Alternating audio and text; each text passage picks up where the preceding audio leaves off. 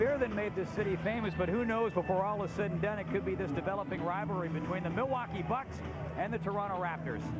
Is that the Raptors start to get some high-quality shots. Field goal percentage is key in this ballgame. Carter with his first points of the game. And Vince can make that shot. Obviously, he has improved. Shell going hard to the basket, couldn't get it to drop, and Carter comes back. We got four on three now. And there's Carter. Vince Carter making a good decision.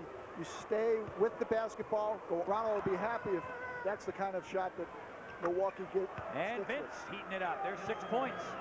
I tell you, Carter just continues to impress with his outside shooting. And one of the things Carter has six points. Up by half court, try to get the ball out of Cassell's hands. Scooped it back, but lost it.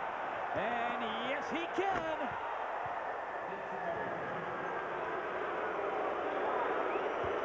Vince Carter. Since Carter was alone in the open court, he's going to take a warm-up for the slam dunk contest at the All-Star game. Vince Carter. To go in the first quarter.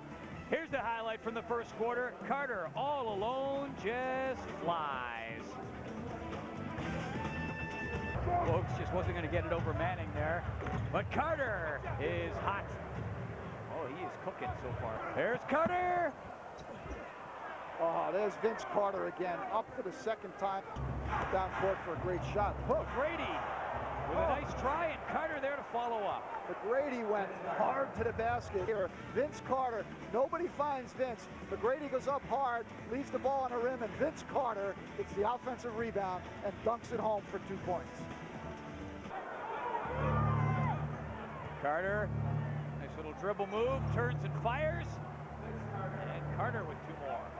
20 points. He had 18 after those two. Oh. And the third effort, Carter finally gets it. Well, Vince Carter. Order. And look at Carter, as you said, just plowing his way through the second half.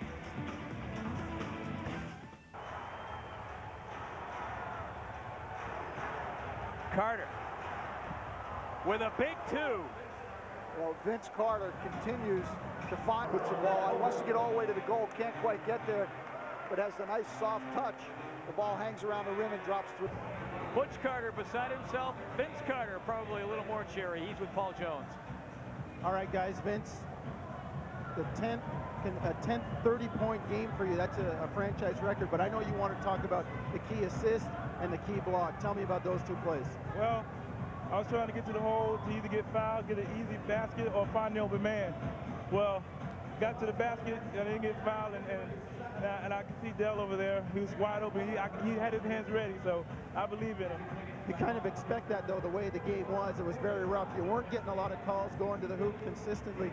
But what does a game like this, a win like this, mean to your team, especially in light of the rivalry that's developing? Experience for the playoffs. Uh, if we get there, we'll have some experience, and we'll be prepared, and we'll understand how the game's played and what we need to do to win the game. All right, Vince, good luck. We'll see you next week in Oakland. Thank you. Seventh double-double year for Vince, and a big win for the Raptors. Carter is our Amex player of the game. Had a great first quarter and then finished strongly in the fourth. You know, he plays with the heart of a champion here. He understands when he has a mismatch situation right there, uses his skill to get the turnaround jump shot. Then he gets down inside on the glass, working hard, comes back and tucks it off the glass for two. So the Raptors pick up a big win over the Milwaukee Bucks. They split the season series two games apiece.